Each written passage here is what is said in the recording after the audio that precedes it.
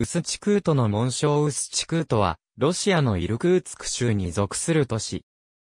東シベリアの大河レナ川の西岸沿いに 20km に渡って町が広がっている。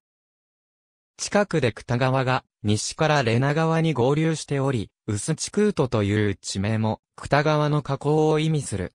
クタ川という名は先住民、エベンキの言葉で、データンの沼を意味する。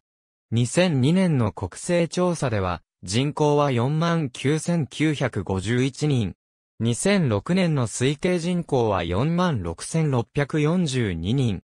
レナ川沿いのオセトロボ地区1631年、東シベリアに進出してきたコサックの頭ン、イバンガリキンが、レナ川沿いのこの地に砦を作ったことが、町の始まりである。砦の軍事的重要性は17世紀後半から徐々に失われたが、町は、レナ川の河口として重要になり、レナ川沿いの交易路の支点の一つになった。町の西にある高線は17世紀に、極東探検家、エロフェイ・ハバロフによって発見されたとされている。彼は他にもウスチクートの開発に尽力し、レナ川を東へ進んで、ラプテフ海方面やオホーツク海、カムチャツカ半島、アラスカ方面へと向かう探検家たちの拠点、中継地にもなった。一方でウスチクートは20世紀初頭には、政治犯の流刑地としても使われ、レフトロツキーもこの地に流されていた。ロシア内戦が終わると、ソ連政府は、学校、病院、スパなどをこの周辺に建設している。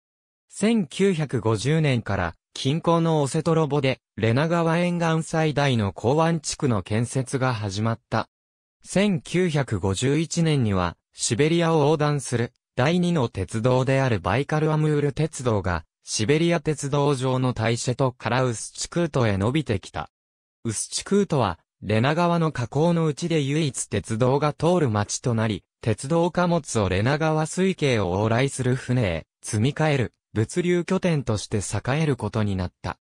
1954年には元のウスチクートの町とオセトロボが合併し、ウスチクート市が誕生した。ウスチクートから東へバイカルアムール鉄道を延伸する工事はスターリン時代が終わるとともに途絶え、長年工事は再開されなかった。1974年に、バイカル湖の北岸を越えて、日本海に至る工事が再開され、ウスチクートは、西の航空の建設本部となった。このほか、ウスチクートから、ヤクーツク、マガダンなどを経て、ペトロパブロフスクカムチャツキーに至る、レナカムチャツカ鉄道を建設する計画も存在する。ウスチクートは、レナ川水系の河川交通と、バム鉄道、国道などとをつなぐ、物流中継地であり、経済も物流が中心になっている。夏の間は、ウスチクートから、ヤクーツク、ティクシなどへと向かう旅客フェリーも出ている。その他の産業には造船業、食品工業などがある。